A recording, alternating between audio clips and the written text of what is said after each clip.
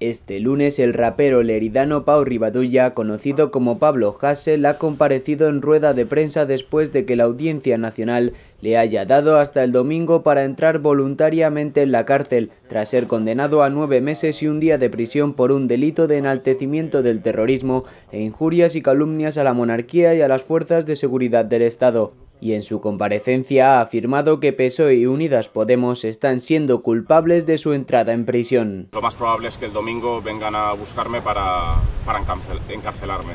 Eh, están siendo culpables, están siendo cómplices directos de, de que se me vaya a encarcelar, no están haciendo absolutamente nada para evitar este encarcelamiento, no están tampoco apoyando las movilizaciones que hay en las calles para evitar este encarcelamiento.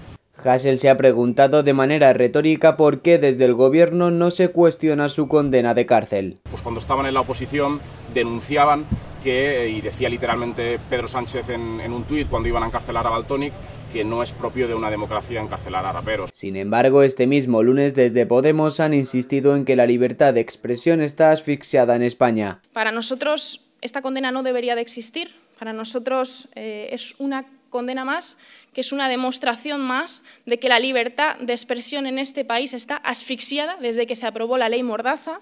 Hassel ha asegurado que no pedirá el indulto y ha recalcado que su encarcelamiento le convierte, según sus palabras, en cabeza de turco para asustar al resto.